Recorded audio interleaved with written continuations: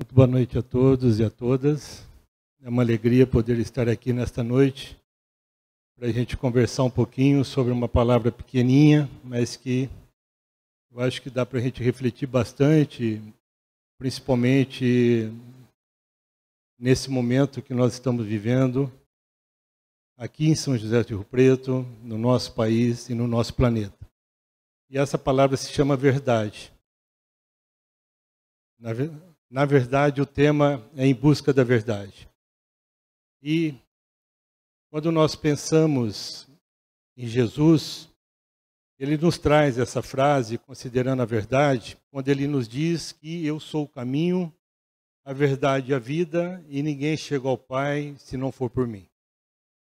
Em uma outra situação, o Mestre Jesus nos traz que conhecereis a verdade e a verdade vos libertará. Em outra situação, no momento que Jesus está ao lado de Pôncio Pilatos, no seu julgamento, Pôncio Pilatos pergunta ao Mestre Jesus qual é a sua verdade. E a resposta do Mestre Jesus foi o silêncio. Como se ele fizesse o convite para nós, para as nossas reflexões sobre qual é a nossa verdade. Ou quais são as nossas verdades nesse atual estágio de evolução que nós nos encontramos. Então, quando Jesus fala que Ele é o caminho, a verdade e a vida, nós entendemos então que, para que nós possamos entender as nossas verdades, primeiro nós precisamos entender que a verdade absoluta é o nosso Pai. E as nossas verdades, elas são relativas ainda porque nós estamos no processo de construção das nossas verdades. E é justamente por isso que quando pensamos na frase que eu sou o caminho, a verdade e a vida, nós entendemos que é, é justamente a maneira que nós estamos caminhando a nossa trajetória evolutiva que nos reflete as possibilidades de compreensão das nossas verdades e que significa a qualidade de vida que nós estamos tendo no momento. Que significa a qualidade do espírito que nós conseguimos ser neste momento através de todo o processo evolutivo. Então, para que a gente possa entender essa construção do nosso caminho, a doutrina espírita nos referencia com muita propriedade a condição de entendermos de onde nós surgimos, o que nós estamos fazendo aqui no momento e o que nós projetamos para o nosso futuro. Sabemos que somos espíritos imortais. E no momento do desencarne, é a nossa matéria que fica, o nosso espírito prossegue, construindo as suas verdades, construindo a sua trajetória. Então, nós podemos entender que o início desse processo da construção do nosso caminhar evolutivo foi justamente quando Deus nos criou. E nós sabemos, pela doutrina espírita, que Deus nos cria como espíritos simples, ignorantes e sem, e com o princípio da inteligência. A palavra simples significando que nós não temos ainda o conhecimento, o desenvolvimento da nossa condição moral. Ignorantes sem o desenvolvimento da nossa consciência, da nossa inteligência.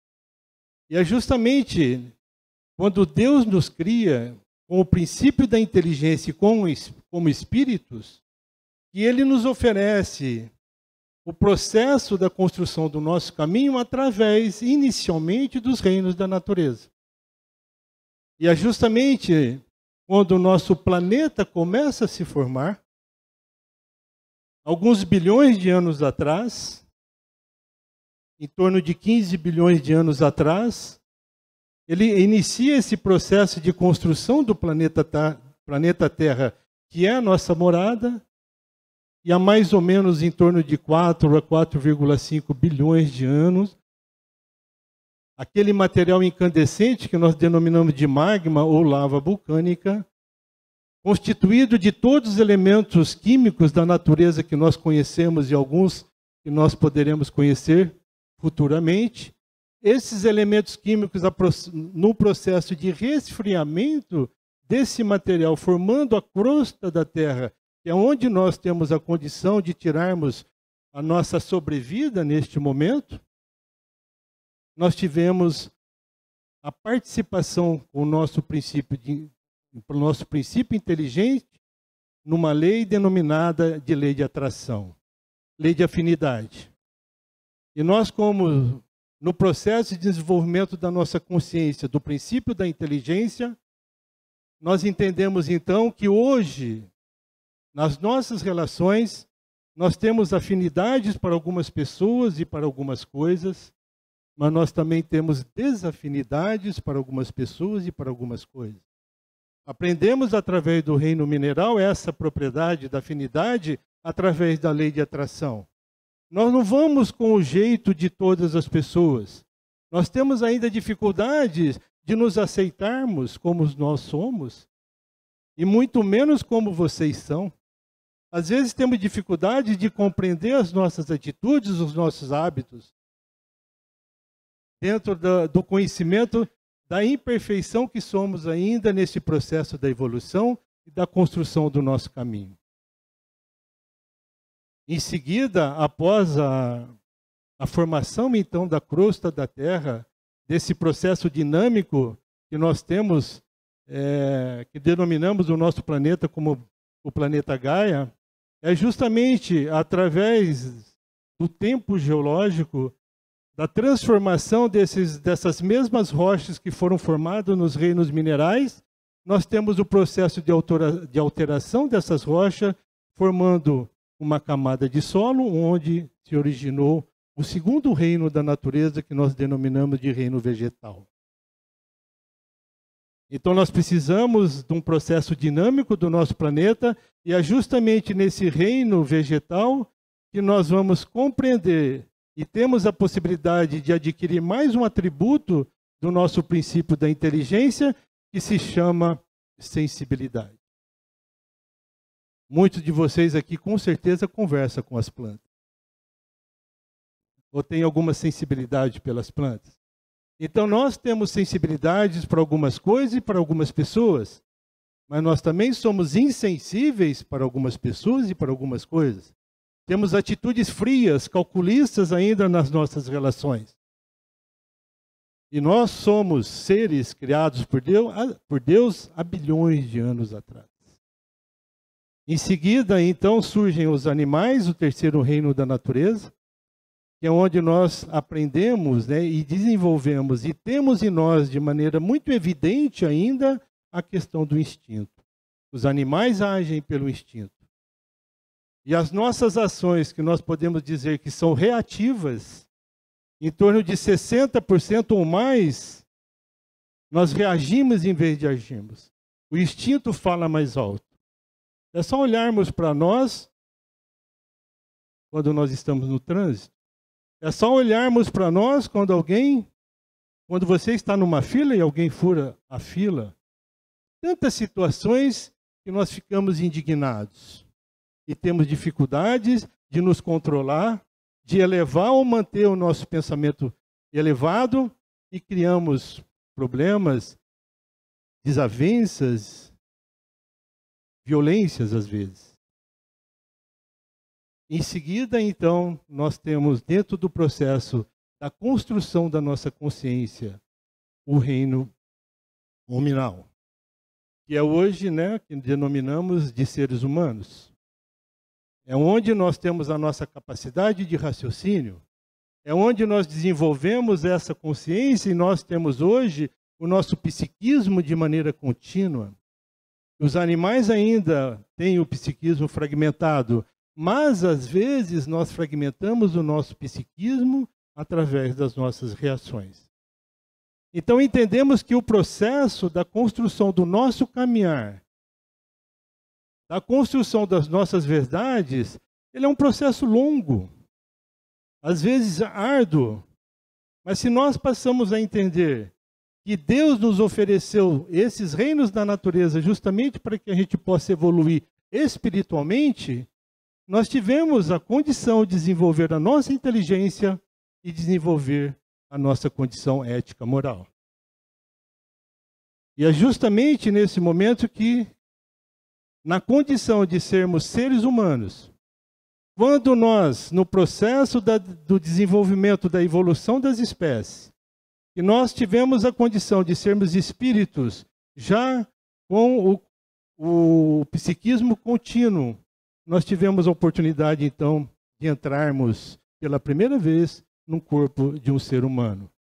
Possivelmente a nossa primeira encarnação como ser humano, e é neste momento que nós entendemos que o mestre, que Deus, o nosso Pai, nos oferece e nos dá toda a liberdade para a construção desse caminho. O livre-arbítrio.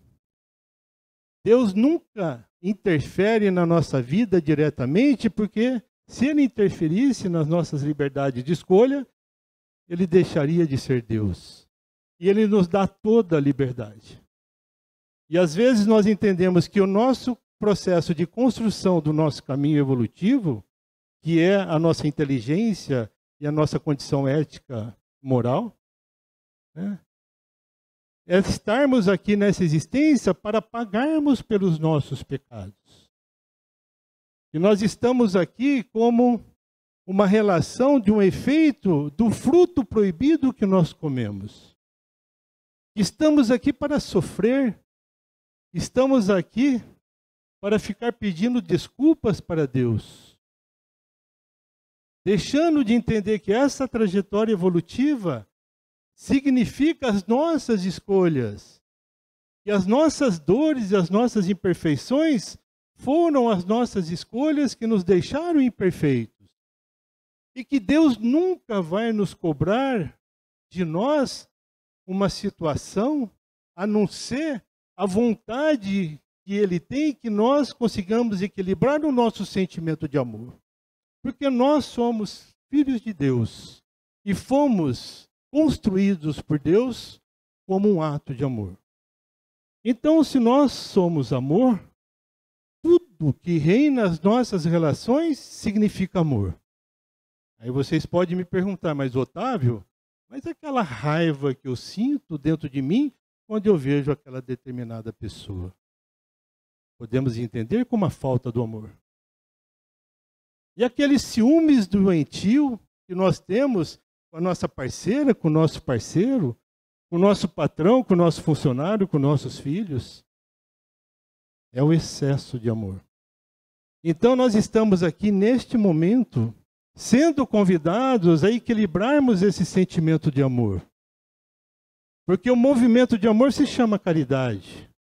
E sabemos que o nosso querido Allan Kardec, ele chega à conclusão após a codificação da doutrina espírita que fora da caridade não tem salvação. E o Kardec procura entender essa questão da caridade perguntando para a espiritualidade o significado da palavra caridade, mas não no entendimento dos espíritos participantes da codificação da doutrina, mas no entendimento do mestre. Kardec, muito né, astuto, ele vai na essência. E para gente, para nós nos curarmos, para nós nos salvarmos, nós precisamos sermos bons para com todos. Não só para quem nós nos damos bem, para quem nós temos afinidade, para quem nós temos sensibilidade, né? para quem nós conseguimos agir. Nós devemos ser bons para com todos, indistintamente. Aceitarmos uns aos outros a indulgência das imperfeições alheias eu devo aceitá-los como vocês são, com as qualidades e os defeitos que vocês têm, para que vocês possam me aceitar com as minhas qualidades e com a quantidade enorme de defeitos que eu ainda tenho. E o terceiro aspecto, no entendimento do mestre, é o perdão das ofensas. E essa questão do perdão das ofensas é encorajarmos para que nós possamos lapidar o nosso sentimento de orgulho e de egoísmo para termos coragem de pedir o perdão quando nós reconhecemos que nós nos enganamos. Mas nós também precisamos entender que nós precisamos trabalhar em nós aceitação do pedido do perdão daquela pessoa que entendeu que cometeu um engano conosco. Porque às vezes a humildade do nosso irmão em pedir perdão para nós, você não tem ainda a capacidade de compreensão e você fala, meu irmão, eu te desculpo, eu te perdoo, mas por favor, não faça isso novamente. O nosso coração ainda está muito enclausurado.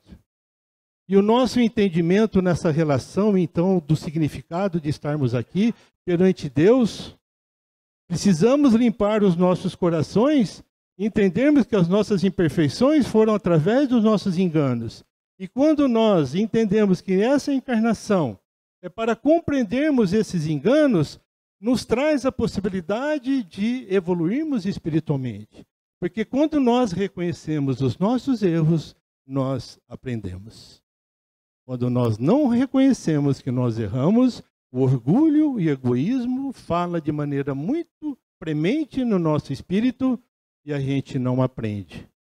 A gente fica patinando, às vezes, não só numa existência, em várias existências. Então precisamos compreender que Deus não está nos cobrando sofrimento. Deus não está nos cobrando o pecado. E que nós temos os direitos de errarmos, mas temos o dever de reconhecer o erro, porque aí nós vamos entendendo e dando sentido para essa trajetória, esse caminho que nós estamos sendo construídos. Porque às vezes nós entendemos que a estrada evolutiva é como se fosse um asfalto lisinho, bem pavimentado, que a gente pudéssemos andar a 300 km por hora. E se a gente anda a 300 km por hora, qual que é a sintonia que nós temos nas nossas relações? Nós olhamos somente para frente. Se a gente olhar um pouquinho de lado, a gente vai provocar um grande estrago. E nós não conseguimos nos sintonizar com o que nós escolhemos no planejamento reencarnatório que fazem parte da compreensão do entendimento que são os nossos desafios. Então nós queremos andar a 300 km por hora justamente com receio de encararmos as nossas escolhas no projeto, na programação reencarnatória. Então, entendermos o caminho, a construção do caminho, é termos coragem de entender que a nossa caminhada evolutiva é uma estrada não pavimentada, cheio de depressões. Mas essas depressões não é para que nós entremos em depressão psíquica. É para entendermos que essa depressão são convites que nós mesmos solicitamos lá no planejamento reencarnatório que são os nossos desafios diários, para que nós possamos entrar dentro dessas depressões e cavucar o máximo que a gente pode, porque ali dentro nós vamos encontrar uma verdade. É dessa maneira que nós vamos encontrando e construindo as nossas verdades, através dos nossos desafios, entendendo que esses desafios são as nossas escolhas. Porque se nós não entendermos que esses desafios que são as nossas dificuldades, eu não gosto muito dessa palavra, esses desafios fazem parte do processo de entendimento e de construção da nossa evolução espiritual. Porque quando nós encontramos a verdade nessa depressão, nós temos a coragem, e quando eu falo coragem, é a possibilidade de entendermos a conexão que nós devemos ter diariamente com a luz divina. Entendendo a questão número um do livro dos Espíritos, quando Kardec faz a pergunta exata: quem é Deus e não quem é Deus e o que é Deus? A gente pergunta quem é Deus, a gente personifica Deus. E se a gente pergunta o que é Deus, a gente coisifica Deus. O que é Deus? Inteligência suprema, né? e o Criador da origem de todas as coisas. Então, justamente quando nós encontramos as verdades nessas depressões da nossa estrada, conectado com a luz divina, nós temos a coragem de construir degrau por degrau para que a gente possa sair da depressão, após ter encontrado a verdade e aceito esse processo do encontro da verdade. E quando você consegue sair dessa depressão, você sai muito mais forte, com seu nível de consciência alterado para o bem. E onde que está Deus? Em nós, na nossa consciência. E quando nós estamos mais fortes, a próxima, a próxima depressão, ela vai ser um pouquinho mais profunda. Eu não vim aqui para desanimá-los. Vim aqui justamente para animá-los. Porque quando nós temos um desafio maior, é porque nós temos a capacidade de resolver esse grande desafio. O Mestre Jesus disse para nós que Deus nunca nos dá o fardo maior do que nós suportamos. Então, todos os desafios que nós encontramos nessa nossa trajetória, na busca da evolução espiritual, nós temos condições de suportar. E aí nós passamos a entender que as depressões das nossas estradas não são para que nós entramos em depressão. Transtornos mentais. E acreditamos que, logicamente, com muita clareza, a ciência, né, a mídia nos traz que nós estamos vivendo o século da depressão. Precisamos tomar cuidado com essa crença, porque nós, se nós entendemos que as nossas depressões é para evoluirmos, nós vamos entender que nós estamos aqui para sermos felizes. E que o sofrimento e as dores fazem parte da oportunidade de sermos felizes. Eu tenho comigo que neste atual momento, não só o nosso país, como o nosso planeta, está tendo um questionamento moral muito grande. Porque nós, eu acredito que nós já desenvolvemos bastante a nossa inteligência. Nós somos muito inteligentes para passar as pessoas para trás. Nós somos muito inteligentes para aproveitarmos das situações. Nós somos inteligentes, inteligentíssimos para desenvolvermos os armamentos bélicos, uma tecnologia tão alta, tão grande, para tirar a vida do próprio irmão. Porque antes do Mestre Jesus, com Moisés, olho por olho, dente por dente. Se a gente nascesse entre os fariseus, a gente se dava melhor com os fariseus, com os romanos, com os romanos.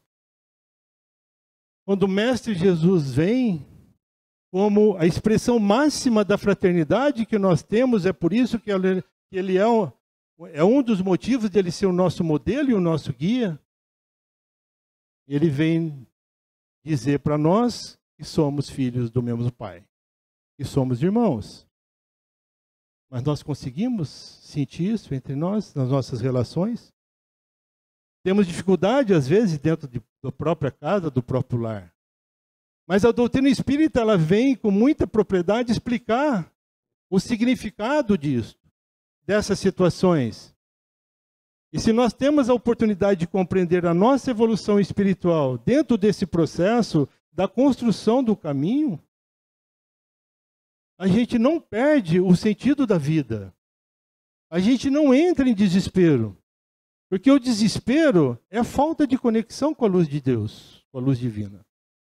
Então, quando nós começamos a nos desequilibrar, quando nós começamos a criar em nós os adoecimentos desnecessários, é porque nós estamos nos afastando de Deus. É porque nós estamos, em vez de viver ao lado de Deus, nós estamos querendo ser Deus. E aí nós falamos, tudo tem que ser do meu jeito. Só o que eu falo, só o que eu penso está certo. Não mexe nas minhas coisas que eu viro um bicho. E temos dificuldade de viver o compartilhar. E, a, e o grande questionamento do nosso planeta hoje na questão moral é porque o paradigma relacional do ser humano está em falência. Porque nós estamos competindo até com nós mesmos. A gente compete para tudo. Às vezes competimos dentro da casa espírita, competimos dentro da nossa casa.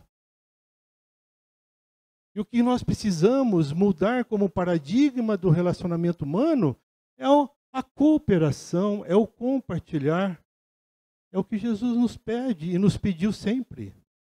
E que a doutrina espírita nos dá a possibilidade da compreensão dessa essência. Não como uma situação ilusória, mas como uma certeza da conquista, uma esperança, não como expectativa, mas com certeza das conquistas.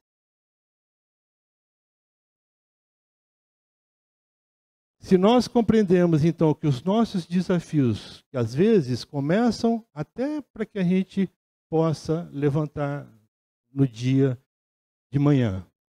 Temos às vezes dificuldade de sair da cama.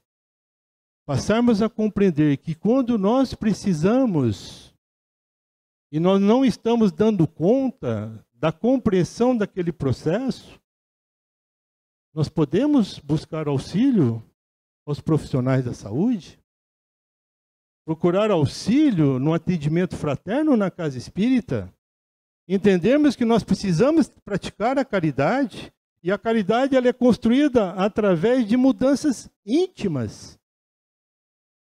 Porque às vezes achamos que caridade é dar um donativo para o nosso irmão mais necessitado do que nós, talvez, ou fazermos uma quantia maior para ajudar uma instituição.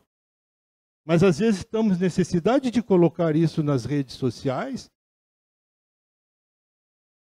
Caridade é uma mudança íntima, entendendo que todos nós estamos aqui para trabalharmos a nossa humildade, que nos facilita essa conexão com Deus, entendermos através dessa humildade que todos temos uma grande missão. E é que é justamente a compreensão dessa missão que nos dá a esperança, não como expectativa, mas de realização. E aí nós vamos compreender que nós estamos aqui aprendendo, tendo oportunidade do aprendizado, e isso nos dá fé, porque a fé é aprendizado, e quando nós conhecemos Deus, nós passamos a ter fé em Deus. Quando você conhece um amigo, a sua esposa, quando você conhece as pessoas, você acredita nas pessoas, você tem fé nela. E o aprendizado é o que nos dá satisfação na nossa vida. Antigamente, a ciência antropológica nos orientava que o motivo de sermos felizes no planeta Terra era sermos ricos, termos muito dinheiro. O segundo era a beleza, precisamos ganhar muito dinheiro para ficarmos bonitos. E o terceiro, o poder. E se nós analisamos a nossa sociedade mundial, nós entendemos que a riqueza, que a beleza e o poder não nos traz a felicidade. E aí foi feita uma pesquisa muito extensa nos Estados Unidos, através da, da tecnologia, dos escaneamentos do cérebro, e chegaram à conclusão que o maior motivo de sermos, de nos sentirmos bem, de acender a área de satisfação do nosso cérebro, é o aprendizado, é o que nós estamos fazendo aqui no momento. Quando nós aprendemos alguma essência, quando nós aprendemos alguma coisa, nós nos sentimos bem. E o segundo aspecto é a superação. Superarmos os nossos desafios nos dá um sentimento de felicidade. O terceiro aspecto a gente fica devendo para uma próxima palestra, porque é mais complicado. O terceiro aspecto que nos dá muito prazer, muita satisfação, é o sofrimento.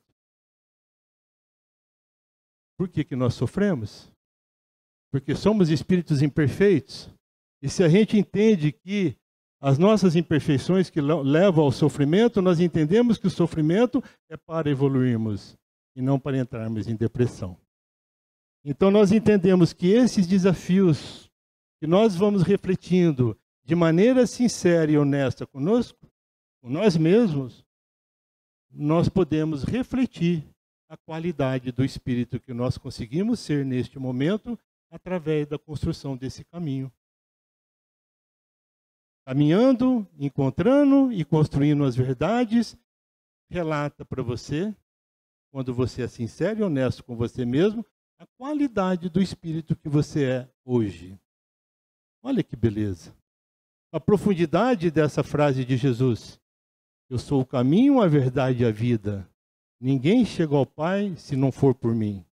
Não é pela pessoa do Mestre, mas é por tudo que ele significa, por todos os seus atos, por todos os seus ensinamentos, por todas né, as suas palavras, que nós refletimos sobre o encontro da verdade, das nossas verdades que são relativas.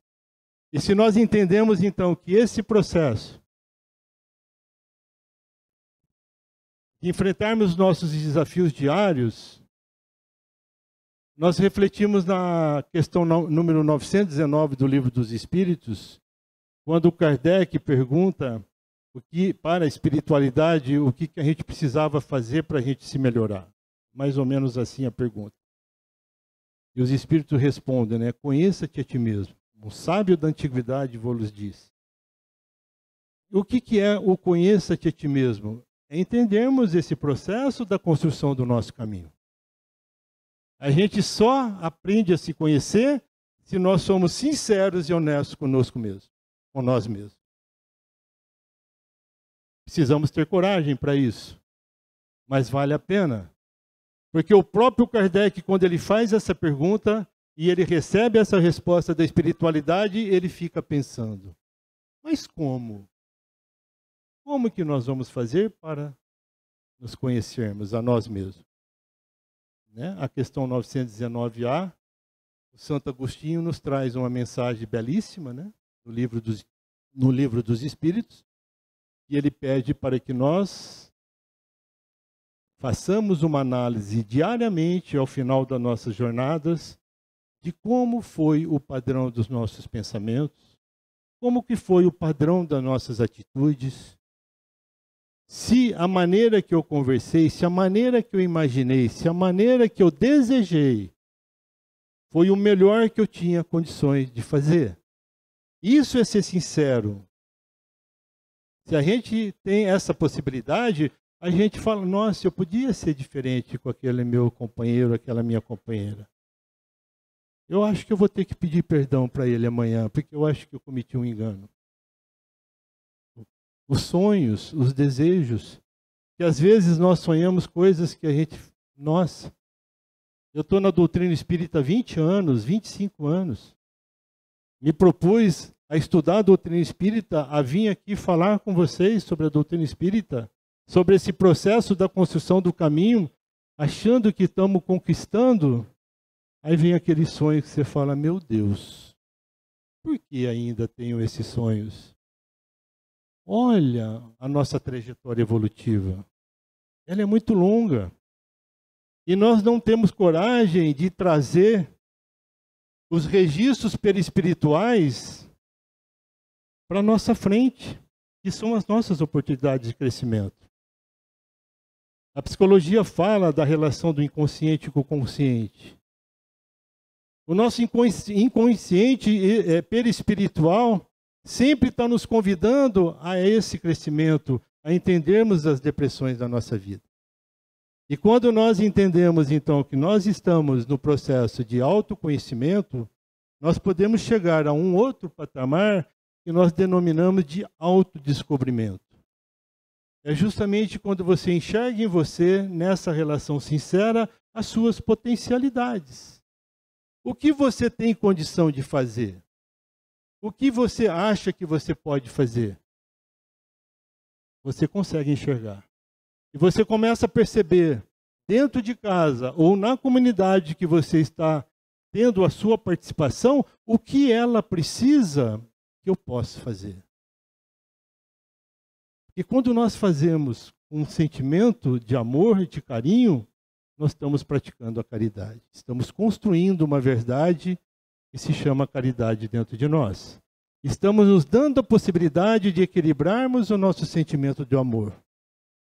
Então, esse autodescobrimento que vem do processo do autoconhecimento nos favorece a um terceiro aspecto que nós chamamos de autotransformação.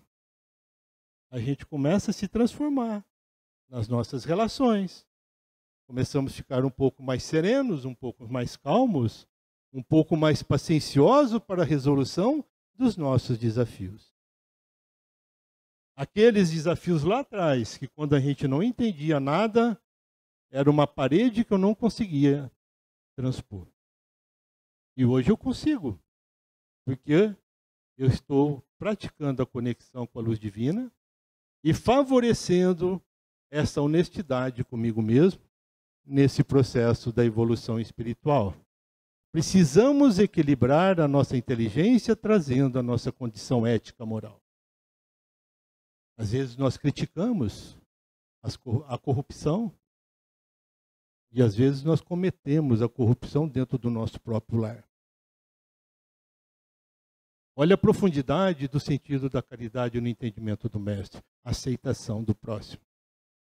E quando nós começamos a nos transformar, nós podemos nos tornar como o nosso querido Emmanuel no livro Pensamento e Vida nos traz, a possibilidade de nos tornarmos apóstolos celestes. E quando nós temos essa possibilidade de, de nos tornarmos apóstolos celestes, é justamente nesse momento nós temos um vínculo na essência com a espiritualidade de luz. E é neste momento que você começa a ser referência onde você está vivendo. Que pode ser o seu lar, que pode ser o centro espírita, que pode ser o seu trabalho, que pode ser na sociedade como um todo. Vamos pensar no Chico Xavier neste momento.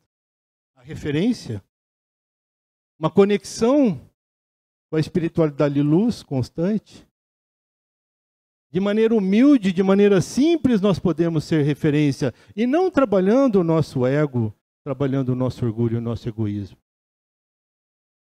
E se nós somos referência onde nós estamos, nós contaminamos, no bom sentido, as pessoas que convivem conosco.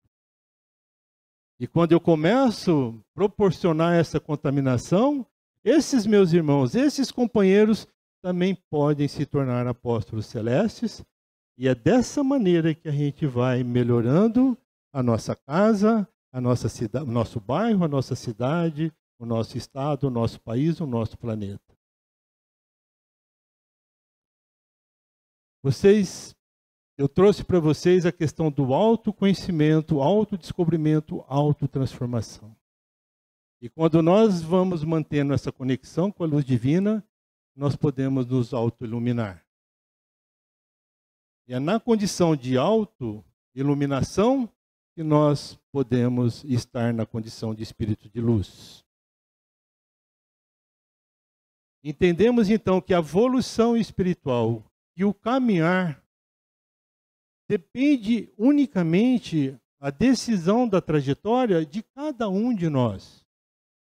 Mas que nós precisamos um do outro. Atitudes monastéricas de isolamento para evoluir espiritualmente, não conseguimos evoluir a evolução espiritual. Nós precisamos um do outro e muito. Por isso que precisamos trabalhar no movimento do amor. Quando Jesus então traz para nós ele é o caminho, a verdade e a vida, nós podemos refletir no tríplice aspecto que é apresentado à doutrina espírita para nós. Quando Allan Kardec, em 1857, apresenta a doutrina espírita como uma ciência de observação e uma filosofia espiritualista. E no desenvolver da codificação, a questão moral do Mestre Jesus, que é a nossa religião espírita. O que é o nosso caminhar? A construção do nosso caminho. Podemos nos dizer que a nossa filosofia? E a construção do nosso caminho é a nossa filosofia. E a verdade é a ciência espírita. E a nossa vida? A nossa vida é a nossa religião espírita. Então, quando Jesus fala que Ele é o caminho, a verdade e a vida, Ele está falando da doutrina espírita. E a doutrina espírita, no seu tríplice aspecto, está falando de Jesus. É Jesus. E Jesus é o Espiritismo. Muito obrigado pela paciência, que Jesus nos abençoe.